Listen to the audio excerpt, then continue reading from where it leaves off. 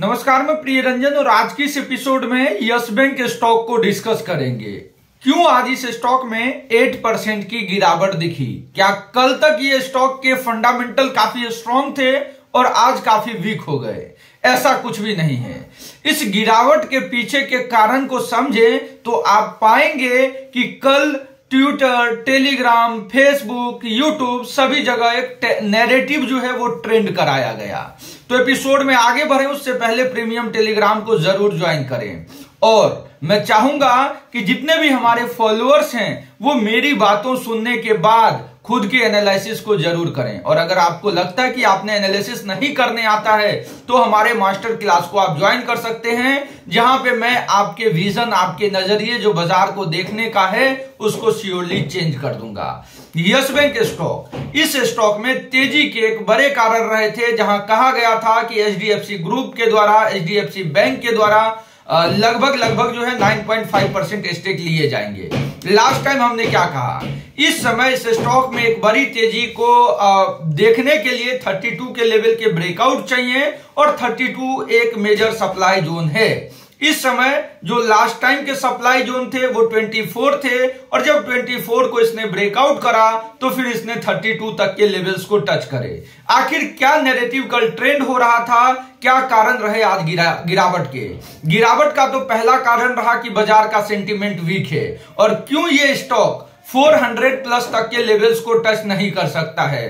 क्योंकि इस स्टॉक के जो वैल्यूएशन है वो प्रीवियस जो इसके ब्रेकडाउन हुए थे 400 के प्राइस के नीचे वहाँ के वैल्यूएशन पे अभी ट्रेड कर रहा है। जब ये स्टॉक 400 के थे तब भी इसका मार्केट कैप लगभग 90,000 करोड़ का था। और इस समय ये स्टॉक थर्टी रुपीज़ पे है फिर भी इसका मार्केट कैप 90,000 करोड़ है। आखिर ऐसा क्यों? ऐसा इसीलिए क्योंकि कंपनी डेट में जाता गया और कंपनी अपने इक्विटी जो है वो रेज करते गए। और जब 400 प्राइस का ये स्टॉक था, तब इसके जो इक्विटी आउटस्टैंडिंग हुआ करता था, वो लगभग लगभग जो है शायद 49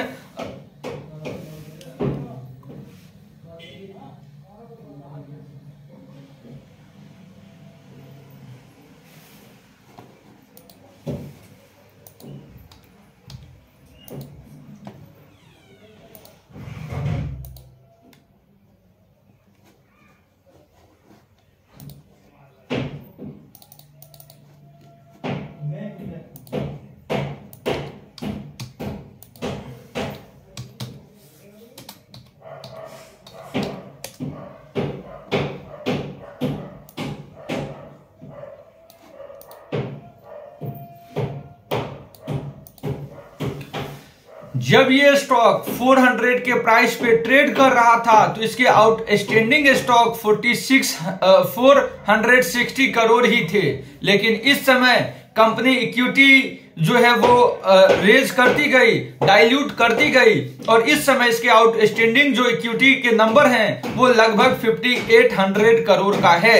यानी लगभग 13 टाइम्स कंपनी ने इक्विटी के थ्रू फंड रेज करे, जिसका कारण ये हुआ कि मार्केट कैप के प्रोस्पेक्टिव से इस स्टॉक ने 400 वाले लेवल के मार्केट कैप को तो टच करा, लेकिन स्टॉक इस समय लगभग 90 परसेंट अभी भी अपने ऑल टाइम हाई से डाउन है। तो इसके क्या इसके लिए कंपनी को क्या करनी पड़ेगी? तो इसके लिए कंपनी को खुद के इक्विटी बाईबैक करने होंगे। इक्विटी के जो आउटस्टैंडिंग नंबर है वो कम करना पड़ेगा। और अगर यहाँ से फंडामेंटली 400 के लेवल्स को कंपनी को टच करने हैं तो कंपनी का सेल्स जो है वो लगभग इस समय के मार्केट कैप के जैसा यानी 80,000 करोड़ के आसपास के सेल्स करने होंगे। और 400 के प्राइस को जस्टिफाई करने के लिए कंपनी का जो मार्केट कैप है वो लगभग लगभग 12 two 13 lakh crore market cap हो जाएगा जिस मार्केट कैप पे इस समय एचडीएफसी ट्रेड करता है। तो ये तो फंडामेंटल व्यू है। टेक्निकल क्या व्यू है? हो सकता है कि 25, 26 के डाउनसाइड लेवल टच करे।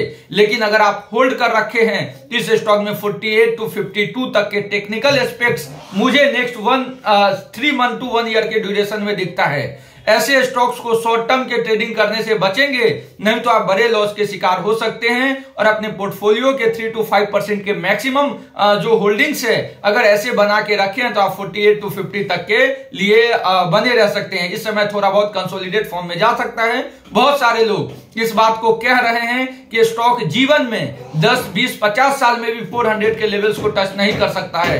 इस पे आपकी क्या व्यूज़ है वो कमेंट बॉक्स में ज़रूर बताएँ। Thank you.